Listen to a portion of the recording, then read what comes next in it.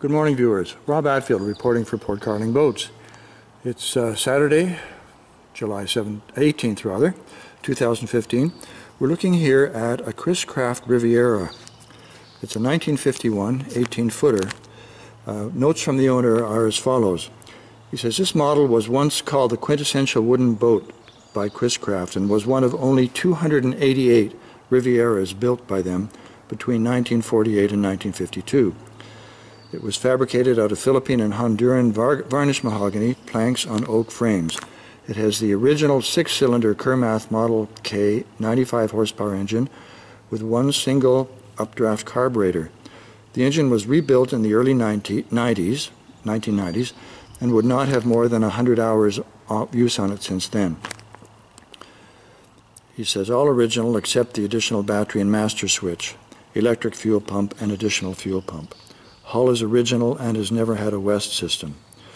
I'm led to believe, uh, viewers, that the, the uh, boat may require some bottom work at this point. It has been in storage for six years. The owner has no further interest in it. The boat was originally priced at uh, $24,000. The price has been reduced twice. It's currently for sale at $12,000. I'll just do a quick walk around with you. Of course, we always recommend to our purchasers that they have a marine survey done before they consider buying a boat.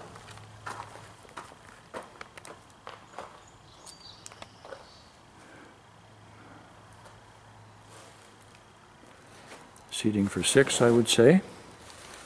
A shallow rear seat there towards the floor.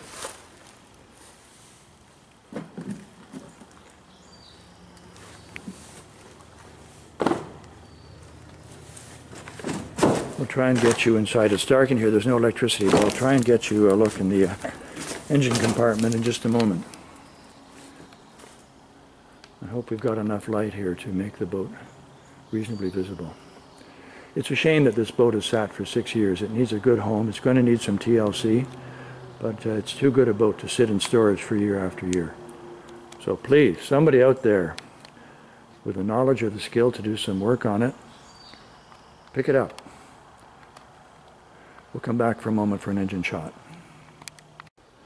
And I know it's difficult to see viewers, but here is the six-cylinder 95 horsepower Kermath engine.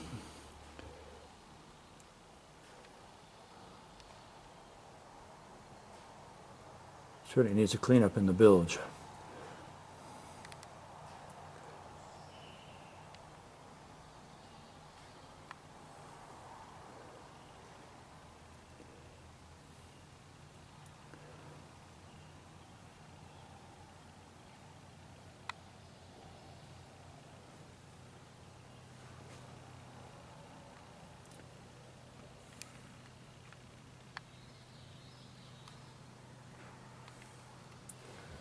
My understanding is that uh, Chris Craft did use a lot of these engines, these smaller six-cylinder uh, engines in their vessels in the 50s particularly.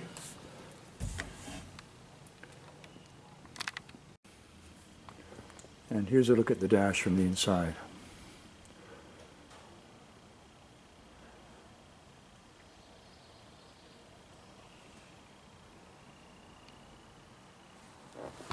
And looking back toward the rear of the boat.